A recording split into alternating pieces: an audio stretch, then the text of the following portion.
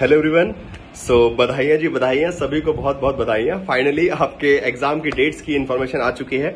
And NT has basically declared now कि आपका exam कब होगा। सो so, जरा कुछ इन्फॉर्मेशन जान लेता हूँ। जल्दी जल्दी मैं बता देता हूँ। सो बेसिकली एग्ज़ाम फॉर्म जो है आपके फिर से 10 अगस्त से 5 सितंबर के लिए फिर से खोल दिए गए ठीक है? तो what they had basically done they have merge the December 2020 and June 2021 because साल में दो बार होता है तो दिसंबर वाला हो नहीं पाया था और जून वाला अभी चांसेस है, इसलिए उन्होंने दोनों को मर्ज कर दिया। एनटी ने बेसिकली अपने नोटिफिकेशन में कहा है कि now we have merge those examination और उसके एक साथ मतलब एग्ज़ाम कंडक्ट होगा उसका एक साथ अक्टूबर में, ठीक है? फाइन अच्छा अब इसके बारे में एक और इन्फॉर्मेशन ये है कि जो लोग पहले फॉर्म भर चुके हैं, उनको फॉर्म नहीं भरना है okay they have already fill up the form but those who want to apply now also जो फिर से अप्लाई करना चाहते हैं they can also fill up the form उनके लिए डेट्स खुली है कब तक?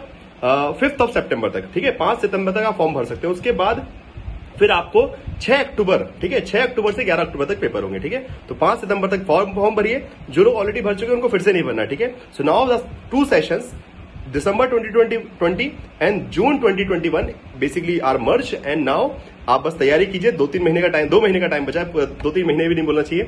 सो सितंबर अगस्त अगस्त चल रहा है सितंबर अक्टूबर में तो पेपर है, ठीक है? सो बिल्कुल जी तोड़ के मेहनत करनी है और डेफिनेटली इस बार सक्सेस सबको जेआरएफ लेके आना है, ठीक है? तो एग्ज़ाम की डेट्स क्या है?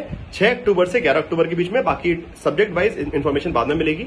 एंड अभी एप्लीकेशन के फॉर्म्स ओपन है सो प्लीज़ जल्दी से जाइए वेबसाइट पे। दस अगस्त से लेकर पाँच अगस्त तक से आप फिर से अप्लाई कर सकते हैं, जिन्होंने अभी तक अप्लाई नहीं कर पाए थे, ठीक है? फाइन चलिए go for it guys best of luck